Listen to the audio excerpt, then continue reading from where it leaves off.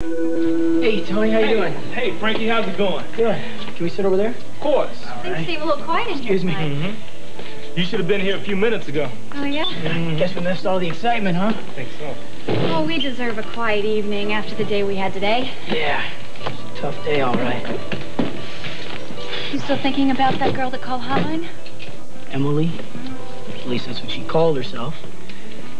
Well, it's probably a fake name. Most of those kids who call don't want anyone to know who they really are. Yeah. You know, I just wish I knew who she was. She just seems so sad and lonely. Well, I know how you feel.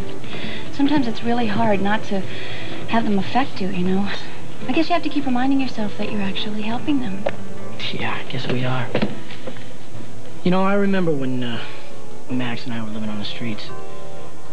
We met a lot of kids with a lot of problems. I wish I knew where there was a hotline back then. Sure would have made life a lot easier, let me tell you. It's sad. Most of those kids are so lonely and confused.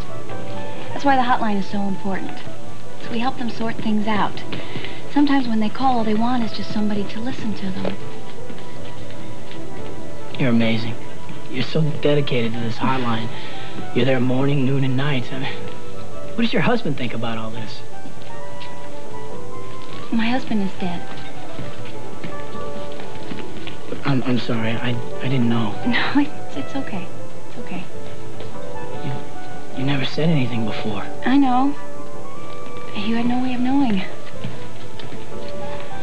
Listen, maybe one of these days I'll tell you about it. You don't have to.